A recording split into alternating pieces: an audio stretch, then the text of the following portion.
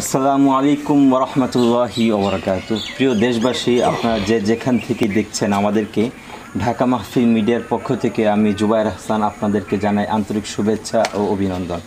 আজকে আমরা আপনাদের সামনে উপস্থিত করেছি দেশের অন্যতম একজন ওয়াইস হজরতুল আজম হজরত মাওলানা ওবায়দুর রহমান হুজাইফি সাহেব দামাত বারকাতুম আগে আসসালামু আলাইকুম রহমতুল্লাহি ওবরকাত হজরত কেমন আছেন? আলহামদুলিল্লাহ আপনি ভালো আছেন? আলহামদুলিল্লাহ। তো যে বিষয় নিয়ে আপনার সামনে আমরা আসছি বিষয়টি হচ্ছে আহ, তারাবি বিষয়। আমরা প্রত্যেকেই তারাবি পড়ি যে আমরা সচরাচর সকলেই জানি তারাবি বিশ টাকার তো আমাদের কিছু ভাইয়ের দাবি যে তারাবি আট রাকাত। তো আমরা আজকে এই অনুষ্ঠানের মাধ্যমে দেশবাসীকে জানিয়ে দিতে চাই মূলত তারাবি বিশ রাকাত না আট রাকাত? এবং হাদিস কোরআন হাদিস অনুযায়ী তারাবির সঠিক ব্যাখ্যাটা কী? তো আলহামদুলিল্লাহ সুন্দর একটি প্রশ্ন করেছেন। তারাবি আসলে বিশ টাকাত তাকে আট টাকাত আমরা যদি দেখতে পাই তাহলে হুজুরে আকরাম সাল্লাহ আলহিসাল্লামের জামানা থেকে তারাবি বিশ টাকাত আমি উদ্ধৃতি দিয়ে বলতেছি, হুজুর সাল্লাহ আলহিসাল্লাম তারাবি বিশ টাকাত পড়তেন। হুজুর সাল্লাহ সাল্লামের পরে চার খলিফার আমল ছিল তারাবি বিশ টাকাত এবং চার খলিফা হজরত ওমর রদিয়াল্লাহ তালানহুর আদেশ ছিল তারাবি বিশ টাকা এগুলার গ্রহণযোগ্য আমি আপনাদেরকে রেফারেন্স দিব ইনশাআল্লাহ। এরপরে ইজমাই সাহাবা অর্থাৎ সমস্ত সাহাবার ঐক্যমত ছিল তারাবি বিশ টাকা যদি নবীজি আট টাকাত পড়তেন পরবর্তীতে সাহাবাইকেরাম বিশ টাকাত নতুন করে পড়তেন তাহলে তো তখন কমপক্ষে তো হজরত আয়সারাদিল্লাহ তালানহা প্রতিবাদ করতে পারতেন। যে নবীজি আট টাকাত পড়লেন তোমরা কেন বারো টাকাত বাড়ায় দিলা? প্রতিবাদ করতে পারতেন না? তখন তিনি তার জীব হজরত ওমরের জীবদ্দশায় কিন্তু জীবিত ছিলেন হজরত আয়সারা দিল তারা তালানহা তো উনি কোনো প্রতিবাদ করেন নাই। এই কথার থেকেও বোঝা যায় যে তারাবি বিশ টাকাত এরপরে হজরতে ইমামে আজম আবু হানিফ রহমতুল্লাহ আলী অর্থাৎ চার ইমাম মাঝহাবের চার ইমাম ওনাদের থেকেও সাহাবেত হলো তারা তারা বিশ টাকা এবং আবহমান কাল থেকে একদম ইংরেজ উত্থা ইংরেজ উত্থাপন হওয়ার আগ পর্যন্ত তারা বিশ টাকাত এর মধ্যে আট টাকাত কেউ বলে নাই। এবং এই পর্যন্ত আজ পর্যন্ত মক্কা মদিনায় তারা বিশ টাকাত হয়ে আসতেছে। যদি নবীজি আট টাকাত পড়তেন তা কমপক্ষে তো অন্য জায়গায় যতই পাল্টাইতো মক্কা মদিনা তো পাল্টানোর কথা ছিল না। অবশ্যই। আর যদি মক্কা মদিনা পাল্টাইতোই তাহলে অবশ্যই ইতিহাসের কিতাবে লেখা থাকতো যে নবীজি একটা আমল এইভাবে বলছেন সাহাবা কেরাম পাল্টায়া পরবর্তীতে এই আমল চালু করছেন। এটা অবশ্যই ইতিহাসের কিতাবে, হাদিসের কিতাবে মুসান্নেফগণ, মুহাদ্দিসগণ লিখে যেতেন কিন্তু লেখেন নাই। বোঝা গেল যে নবীজি বিশ টাকাত পড়তেন, পরবর্তীতে বিশ টাকাত হয়েছে তো এই জন্য আর লেখার কোনো কিছু নাই। এখন এই ন- আমাদের বিশ টাকাতের এই হাদিসটা কি আসলে কি কিতাবে পাওয়া যায় কিনা? আমি যে কিতাবের কিতাবটি আমার হাতে আছে, সেটা হলো মুসান্নেফে ইবনে আবি সাইবা। এটা হলো হজরত ইমাম বুখারি রহমতুল্লাহ আলের উস্তাদের কিতাব। এই মুসান্নিফ ইবনে আবি সাইবা উনি হাদিস বর্ণনা করেন আন ইবনে আব্বাস রাদিয়াল্লাহু তাআলা আনহু আন্না রসুল রাসূলুল্লাহ সাল্লাল্লাহু আলাইহি সাল্লাম কানা ইউসাল্লি ফি রমাদান 20 রাকাতান ওয়াল বিত্র হুজুর সাল্লাল্লাহু আলাইহি সাল্লাম রমজানে 20 বিশ রাকাত কি করতেন? নামাজ পড়তেন তারাবি ওয়াল এবং বিত্র পড়তেন। হাদিস নাম্বার হলো সাত হাজার ছয়শত বিরানব্বই খণ্ড নাম্বার হলো পাঁচ এবং পৃষ্ঠা নাম্বার হলো দুইশত পঁচিশ। এই বুখারি রহমতুল্লাহ আলাই কিন্তু জেনতন মানুষের থেকে হাদিস নেন না।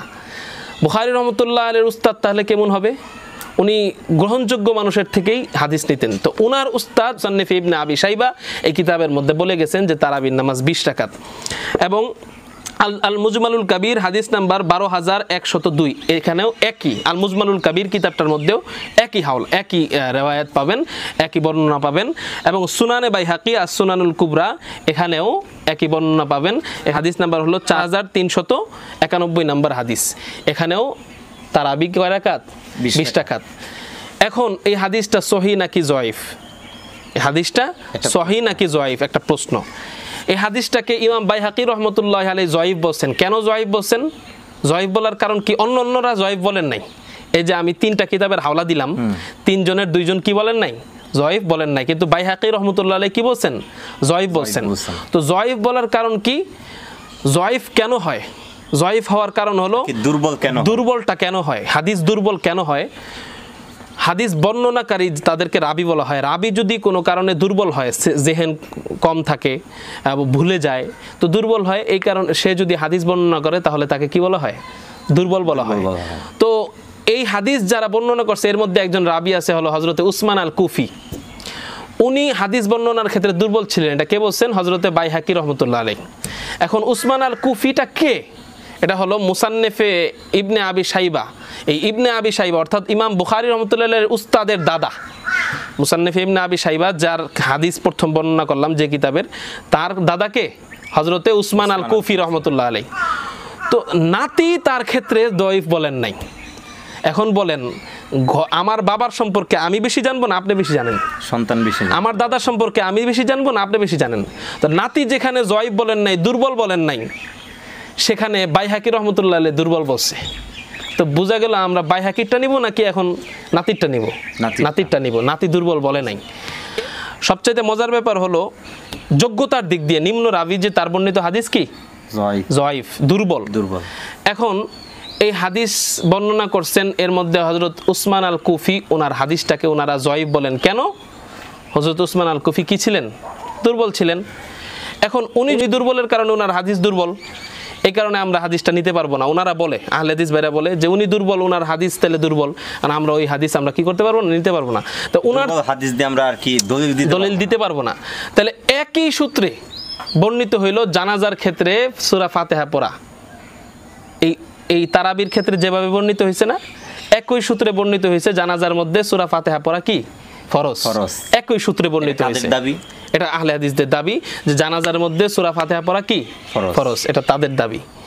তো তারা যদি একই সূত্রে বর্ণিত হাদিসটা জানাজার ক্ষেত্রে লাগাইতে পারে তাহলে একই সূত্রে বর্ণিত হাদিসটা তা- তারাবিতে আমরা কেন লাগাইতে পারব না? বুঝাইতে পারলাম এবার? হজরত ওমর রাদি আল্লাহ তালান আমরা দেখি যে উনি কি আসলে আহ, তারাবি কয় রাকাত পড়তেন? হজরত সাহেব বলেন হজরত ওমর রাদি আল্লাহ তালাহুর সময়কালে বিশ টাকার তারাবি ছিল। বুখারি শরীফের ব্যাখ্যা, ফুতহুল বারি, চার নম্বর খণ্ড চারশত ছত্রিশ নম্বর পৃষ্ঠা এটা পাবেন। যার সনদ বুখারিতে দুই স্থানে আছে। হজরত সাহেব বিন ইয়াজিদ রাদি আল্লাহ তালহু বলেন, আমরা হজরত অমর রাদি আল্লাহ তালনের শাসন আমলে বিশ রাকাত তারাবিহ ও বিতের পড়তাম। সুনানে সুগরা লিল বাইহাকে, হাদিস নাম্বার আটশত তেত্রিশ। এই হাদিসটাকে সহি বলছেন কারা? যে সমস্ত মহাদ্দিসিনে কেরাম এই হাদিসটাকে সহি বলছেন, ওই সমস্ত মহাদ্দিসিনে কেরাম যদি কোনো হাদিসকে জয়ীব বলেন, তাহলে আহলে হাদিস ভাইরাও ওই হাদিসের জয়ীব বলতে বাধ্য। কোন হাদিসকে সহিব সহি বলতে আহলে হাদিস ভাইরাও ওই হাদিসকে সহি বলতে কি? বাধ্য। ইমাম নববী রহমতুল্লাহ আলাই, সুবকি রহমতুল্লাহ আলাই এই হাদিসকে কি বলছেন? সহি বলছেন। মোল্লা আলী কারি রহমতুল্লাহ আলাই, শরহুল মুআত্তা ও সুয়ুতি রহমতুল্লাহ আলাই এই বর্ণনাকে কি বলছেন? সহি বলছেন। সুয়ুতি রহমতুল্লাহ আলাই নববী রহমতুল্লাহ আলী কারির মোল্লা আলী কারি রহমতুল্লাহ আলাই ওনাদের মতো মুহাদ্দিস যদি কোনো হাদিসকে আহ, কোনো হাদিসকে সহি বলে তাহলে কি আমাদের আর কিছু বলার থাকে? আমাদের আর কিছুই বলার নাই।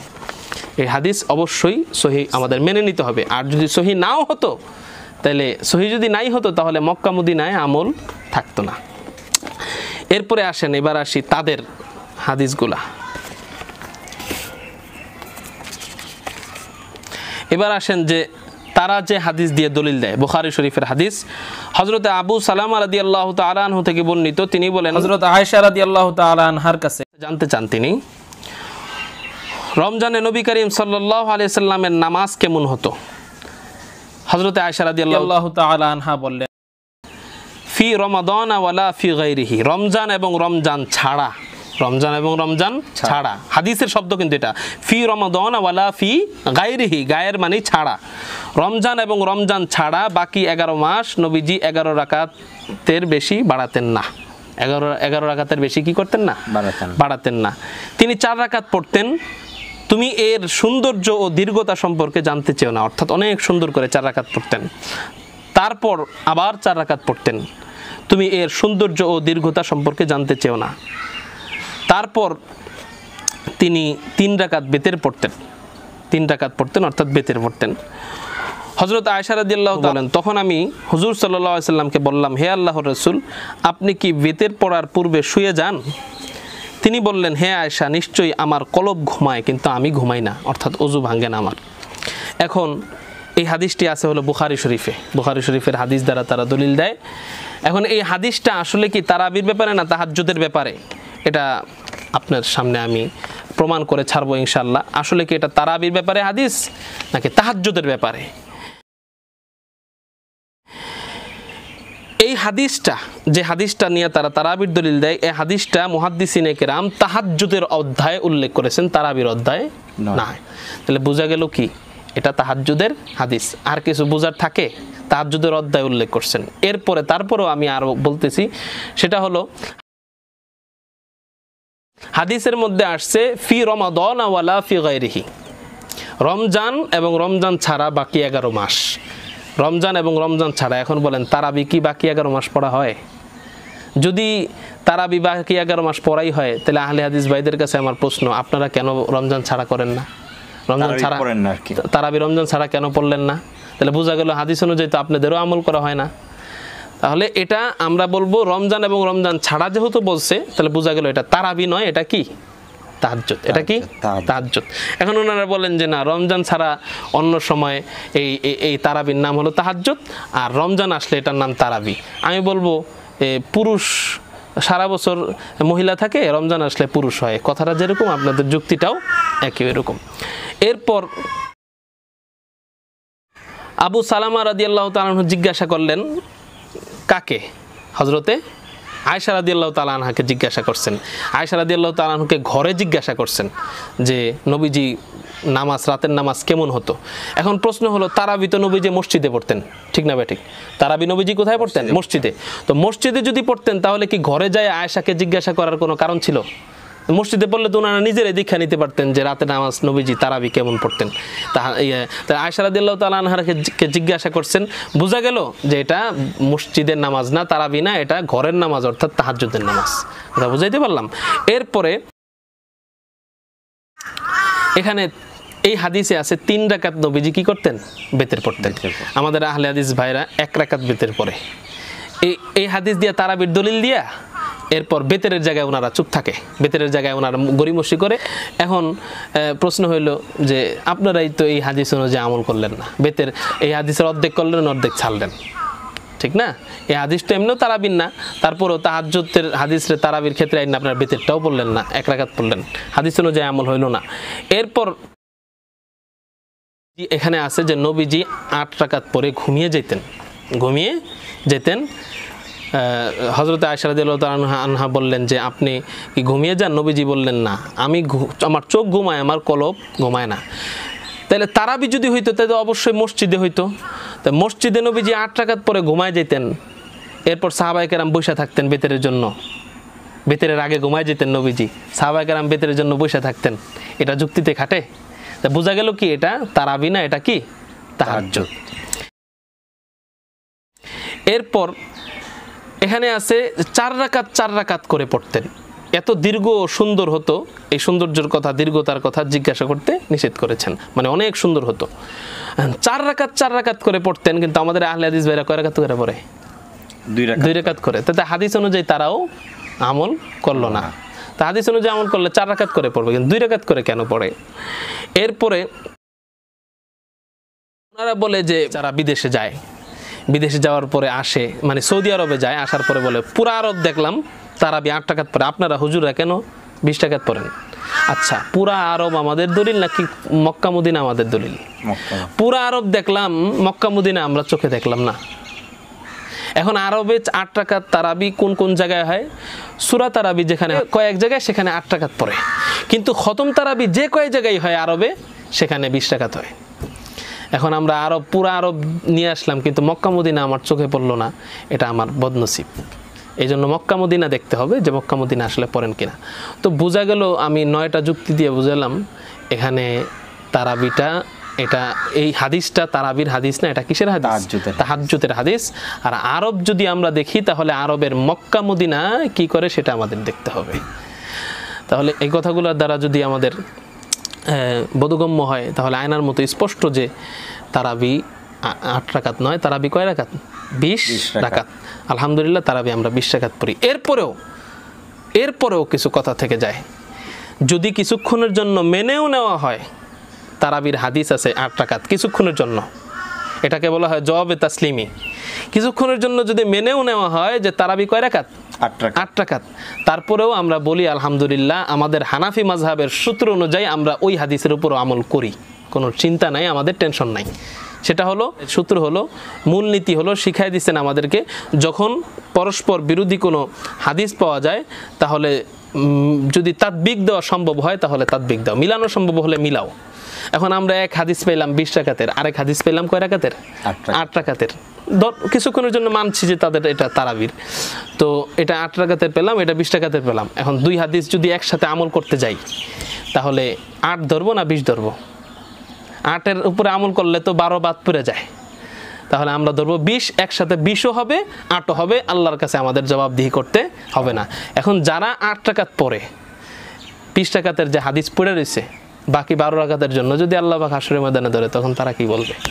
মোহতারাম আরেকটা বিষয় আপনার কথা দ্বারা এখানে যদি আমরা বিশ রাকাত না পড়ে যদি আট রাকাত পড়ি আপনি কিছুক্ষণ আগে বললেন যে আমরা যদিও মেনে নেই যে আট রাকাতটা তারাবি যদিও মেনে নেই এটা সুন্নতের বিষয় যেহেতু। এখন আমরা যদি বিশ টাকার দাম পড়ে যদি আট রাকাত পড়ি আর বাকি যে নামাজটা পড়া হলো না এর শাস্তি কি? এর জন্য আল্লাপাকে নবীজি বলছেন যে আমার সুন্নতের অনুসরণ করে না। সে আমার উম্মতের অন্তর্ভুক্ত না। এর থেকে বড় শাস্তি আর কিছু আছে? বলেন। তো নবীজির সুন্নত আমি অর্ধেক করলাম। এমনি আমি অসুস্থ থাকতে পারি কোনো সময় অসুস্থ থাকলে আমি একটু কমায় পড়তে পারলাম। সে আট হোক দশ হোক দুই হোক চার হোক। কিন্তু কিন্তু আমি আমি আমি অসুস্থর ক্ষেত্রে ভিন্ন। কিন্তু আমি নিয়ম বানায় ফেলাইলাম যে আমি আটই পড়ব আমি দশই পড়ব। তাহলে তো অবশ্যই বাকি সুন্নতের জন্য জবাবদিহি অবশ্যই করতে হবে। নবীজি বলছে আমার উন্মতি না। তো নবীজির সাফায়াত ছাড়া আমি জান্নাতে কীভাবে যাব? ও আরেকটা সুন্দর একটা কথা বলে রাখি, সেটা হলো আমা- আমাদের কিছু আহলাদি শায়েকদের দেখা যাইতেছে এখন দুনো কথার মাঝামাঝি তারা আইসা পড়ছে। এতদিন তারা বিশ্বাকাতকে অস্বীকার করতো, এখন দুনো কথার মাঝখানে তারা আইসা পড়ছে। দুটো কথার মাঝখানে এসে পড়ছে কি বলে? যে বিশ টাকাত পড়াও সুন্নত আট টাকাত পড়াও সুন্নত। কিন্তু বিশ টাকাত যদি কেউ তাড়াতাড়ি পড়ে তাহলে সেটা সুন্নত না, এর থেকে আট টাকাত পড়া উত্তম। আচ্ছা আপনি যেভাবে বললেন, আপনারা তো কোরআন, হাদিস ছাড়া কোনো কথা বলেন না। এটা কোন হাদিসে আছে, এটা কোন জায়গায় আছে যে তাড়াতাড়ি পড়ে, শুদ্ধ করে পড়ে না এই জন্য কম নামাজ পড়া সুন্নত, উত্তম, এটা কোন জায়গায় পেলেন?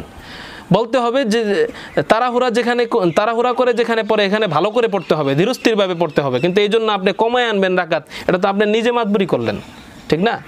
আরেকজন আমাদের ইসলামিক স্কলার সবার জনপ্রিয় বক্তা, নাম বলব না। উনি কয়দিন আগে একটা ভিডিও ফুটেজ দেখলাম, বলতেছে, সবাইকে খুশি করতে চায়, বলতেছে যে, তারাবি প্রথমে আট টাকা ছিল। পরবর্তীতে ওসমান হজরত ওমরাদিল্লাহ তালান হয় আয়সা বিশ টাকাত করছেন।